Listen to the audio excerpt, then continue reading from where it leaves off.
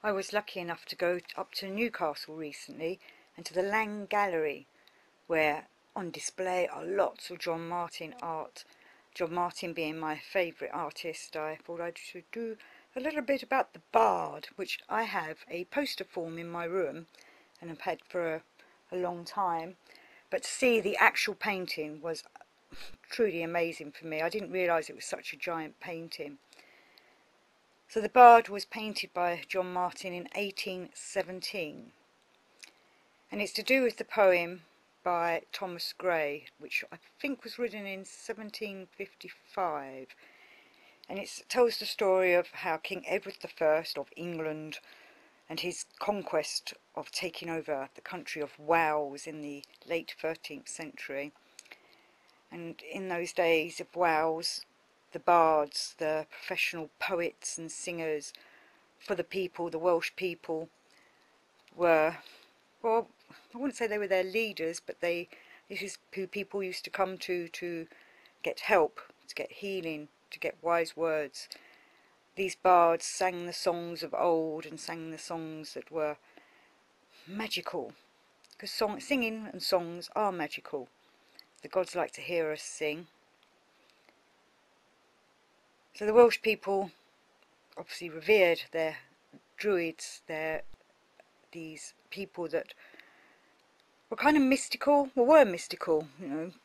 They had a, a they were like druids because they gave us gave the people the wisdom. They knew the wisdom of the the way. They had a, a code of how to live with the world and nature. But King Edward he wanted all the bards to be slaughtered, killed, taken. And Martin's picture is about the last surviving singer, the last bard that was left. And so it's painted a scene of in the Welsh valleys, you've got the castle in the background, you can see all the king's men It looks like there's hundreds of them, possibly thousands, are coming to take this last bard who st stood on top of the uh, cliff face with the birds and the eagles and the birds of prey flying above him. And it's like he, at first I thought he was singing down upon them, but I've been told since that he's actually cursing them. He's cursing King Edward. He's cursing the soldiers and then he throws himself off the ledge, falling to his death. The landscape on this is just amazing, isn't it? You can see the waterfalls, the trees. And I was just going to read some of the extracts from Gray's poem.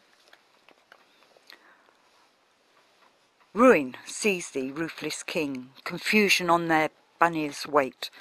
Thou fanned by conquest's crimson wing, they mock the air with idle state, helm nor hauberk's twisted mow, nor even thy virtues, tyrant, shall avail to save thy secret soul from nightly fears.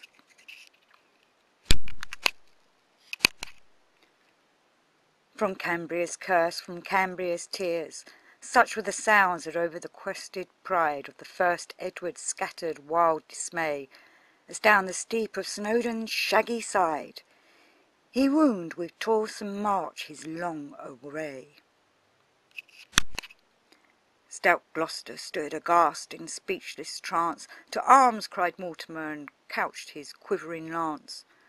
On a rock whose haughty brow frowns over cold Conway's foaming flood, robed in the sable garb of woe, with haggard eyes the poet stood.